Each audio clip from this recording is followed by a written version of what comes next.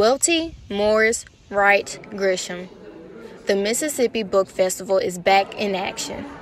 Readers from all over had a chance to go to the Magnolia State's state capitol and get a chance to interact with different authors. Tracy Carr, Deputy Director of Library Services, Mississippi Library Commission, explains why her department came out to the book festival. Well, really just the opportunity to show people how cool libraries are, like literally cool because it's really hot outside and people can come in and uh, cool off in the air conditioning. Um, but we always like an opportunity to spread the word, the good word about libraries. But the fun doesn't stop inside the Capitol.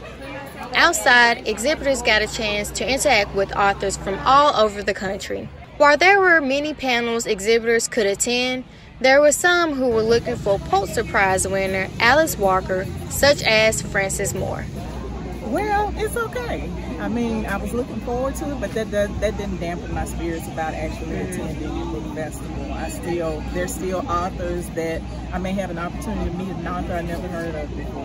When asked about the future of the Mississippi Book Festival, board member Malcolm White had this to say. This is a good way for Mississippi to highlight one of our great assets, which is literature and writing. Mississippi has produced so many recognizable and notable writers. And it's one of the things that is very positive about Mississippi, and it's one of the things that we can take pride in. So there are many things where we say we may be last on that list, but when it comes to writers, we're more or less first on that list.